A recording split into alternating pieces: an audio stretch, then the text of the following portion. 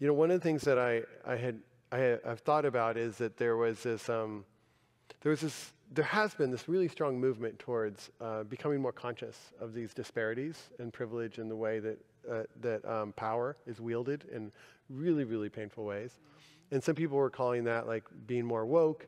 And now it feels like there's this whole backlash, right? Where it's like all of a sudden people look at uh, certain presidential candidates who don't who don't apologize for anything and who don't seem to give a shit about anything, and they're like, "Oh, I'm Which one?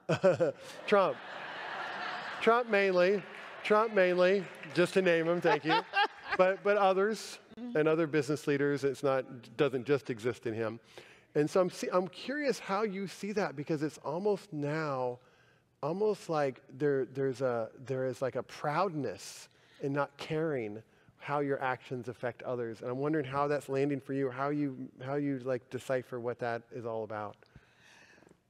Listen, my next book is called Revolutionary Grace. Revolutionary Grace. Revolutionary Grace. I, I shouldn't be talking about it. Don't nobody tell my my my.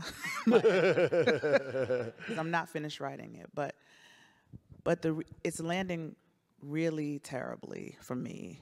I don't understand. It's a naivety probably that I, that I struggle with because I probably should. I do understand uh-huh. intellectually. I understand. In my heart, I don't understand. Yeah. I understand evil. I understand meanness. I understand unkindness. But in in my intellectually, I. So listen, I'm an organizer. Mm-hmm. Been an organizer most of my life. I understand strateg- strategically how there's always a backlash, right? Yeah. I understand that we spent almost a decade in a moment that was in in a, in a large moment of movement, Yeah. of forward movement, right? We we went from, you know, um, if we were to market, let's say Trayvon Martin, excuse me, the onset of Black Lives Matter, Yeah.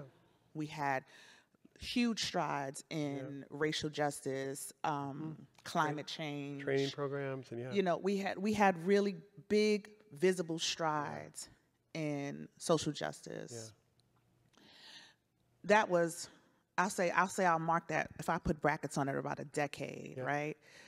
2012, 2013 around around that time.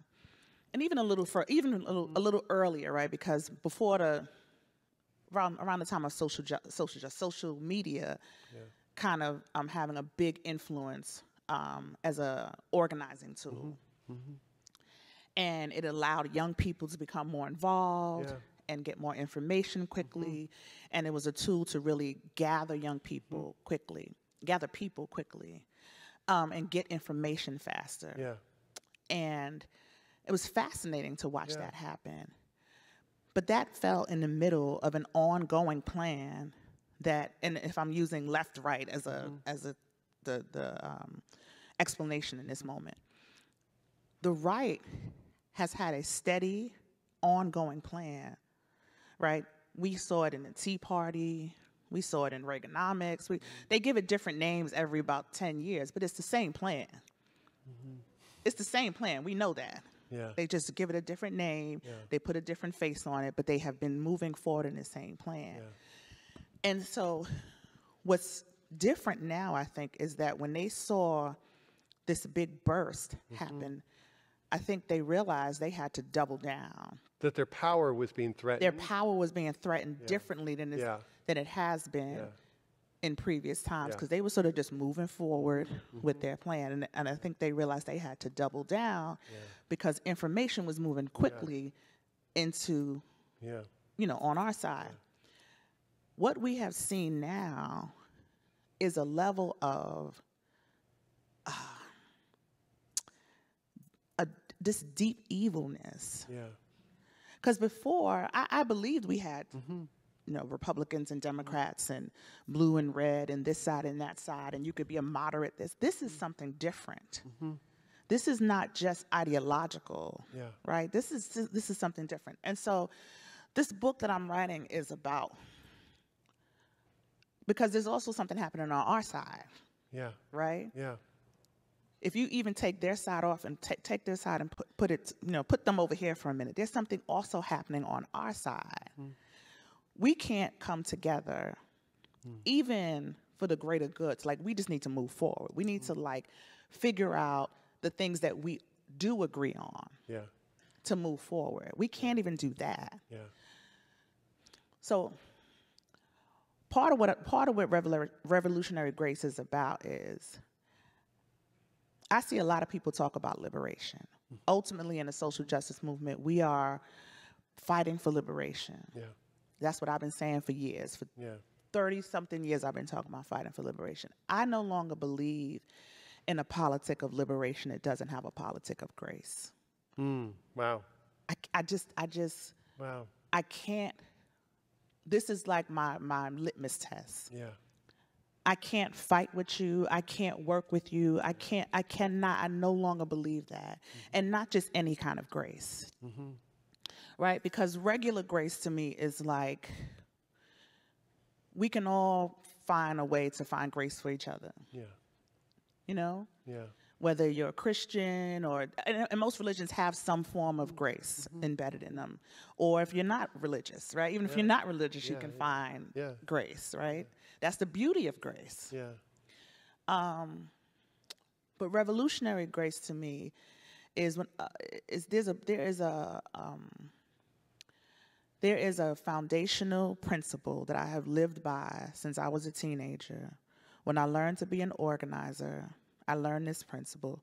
It was the people who were teaching me the first principle of nonviolence, nonviolent organizing is I will not violate your dignity, Mm. but I will not compromise mine. Wow. I have lived by that since I was 14 years old. Mm-hmm. And the second part of that, because this is leadership training, is when I when I make a decision, it will be to serve everybody, even my enemies. Wow. Those are the two principles I have lived by. Wow. Those are big ones. 35 years. Those are big ones. Yeah. Don't steal this. It's going to be in my book.